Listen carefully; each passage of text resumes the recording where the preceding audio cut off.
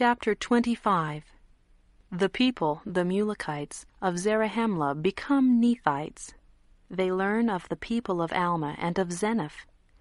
Alma baptizes Limhi and all his people. Mosiah authorizes Alma to organize the Church of God. And now King Mosiah caused that all the people should be gathered together. Now there were not so many of the children of Nephi, or so many of those who were descendants of Nephi, as there were of the people of Zarahemla, who was a descendant of Mulek, and those who came with him into the wilderness.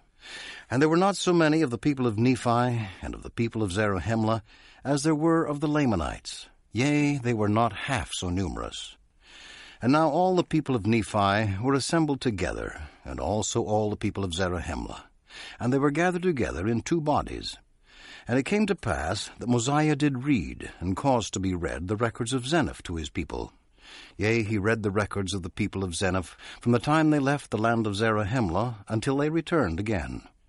And he also read the account of Alma and his brethren, and all their afflictions, from the time they left the land of Zarahemla until the time they returned again. And now, when Mosiah had made an end of reading the records, his people who tarried in the land were struck with wonder and amazement, for they knew not what to think. For when they beheld those that had been delivered out of bondage, they were filled with exceedingly great joy. And again, when they thought of their brethren who had been slain by the Lamanites, they were filled with sorrow and even shed many tears of sorrow. And again, when they thought of the immediate goodness of God, and his power in delivering Alma and his brethren out of the hands of the Lamanites and of bondage, they did raise their voices and give thanks to God. And again, when they thought upon the Lamanites, who were their brethren, of their sinful and polluted state, they were filled with pain and anguish for the welfare of their souls. And it came to pass that those who were the children of Amulon and his brethren, who had taken to wife the daughters of the Lamanites, were displeased with the conduct of their fathers, and they would no longer be called by the names of their fathers.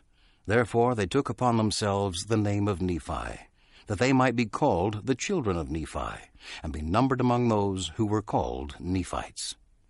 And now all the people of Zarahemla were numbered with the Nephites, and this because the kingdom had been conferred upon none but those who were descendants of Nephi.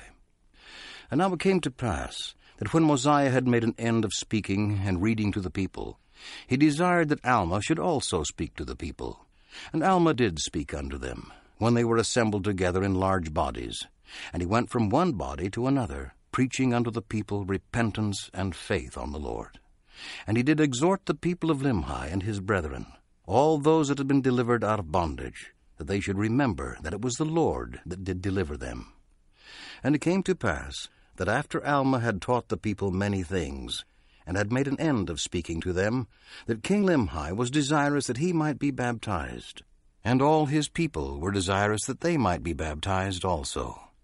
Therefore Alma did go forth into the water, and did baptize them. Yea, he did baptize them after the manner he did his brethren in the waters of Mormon.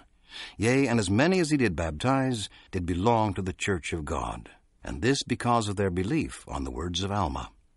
And it came to pass that King Mosiah granted unto Alma that he might establish churches throughout all the land of Zarahemla, and gave him power to ordain priests and teachers over every church. Now this was done because there were so many people that they could not all be governed by one teacher, neither could they all hear the word of God in one assembly. Therefore they did assemble themselves together in different bodies, being called churches every church having their priests and their teachers, and every priest preaching the word according as it was delivered to him by the mouth of Alma. And thus, notwithstanding there being many churches, they were all one church, yea, even the church of God. For there was nothing preached in all the churches, except it were repentance and faith in God. And now there were seven churches in the land of Zarahemla, and it came to pass that whosoever were desirous to take upon them the name of Christ or of God, they did join the churches of God. And they were called the people of God. And the Lord did pour out his Spirit upon them. And they were blessed and prospered in the land.